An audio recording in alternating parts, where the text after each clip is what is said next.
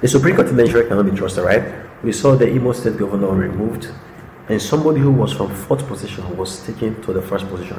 And now we have the case of Bayelsa, where the deputy is being removed. Just yesterday, they said the case was dismissed, but today, the court, led by five, the five-man panel, led by uh, Justice uh, Mary Peter Odili, has removed the man who is supposed to be sworn in, right?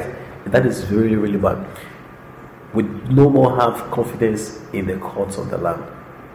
Look at what is actually happening with the case of Ihedioha. It's very, really uh, despicable. So, we need to rejig our system, especially people no more have faith in the Supreme Court of the land anymore. Uh, we have uh, Sowore going to court yesterday and he was awarded 200,000 naira.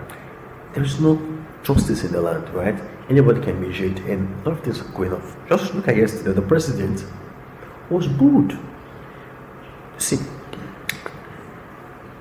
for the president to be booed, it should have the thing paying them.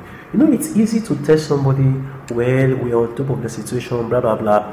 When these people, their relatives are being killed, right? Do you know how many widows have been made from these Boko Haram insurgents? Do you know how many orphans have been made from these insurgents? And we're hearing reports that 1,400 uh, of these terrorists have been declared repentant, have been launched into society. Well, Professor Itse Sagay condemning that, right? How about Apostle Joseph Suleman condemning that? How about Femi Fani Kayode condemning that? And every every single person is actually condemning the acts of the federal government.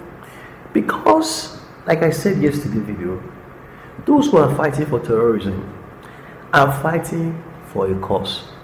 The one who is kidnapping people is doing that because he needs money. The one who is fighting terrorism, who is fighting because of terrorism, is not doing that because of money. There is a cause. So, what is Boko Haram? It says that Western education and civilization is what bad. So they are fighting the Western system. These are the things that happen in the nation. Now, President Buhari left Borno State, and after leaving, few hours, another community was what was attacked. And somebody said, in the war against terrorism, there is no sincerity on the part of the government. Uh, we saw the attack on Borno State, right? Uh, one of the man was talking about that citizens are to be blamed, right? We see Borno State government giving the report. Oh, these are the number of people that were killed, X number were killed. They have the government saying that Y number of people were killed. This is the control we are. Do you know people voted for Buhari? 800 something thousand people voted for, for Buhari. And it was booed when he went there yesterday. And we're talking about the, clamoring for the sack of the Supreme uh, judges Oh, sorry, was the, the sack of the service ships, and nobody's giving us an ear. There is insecurity in the land.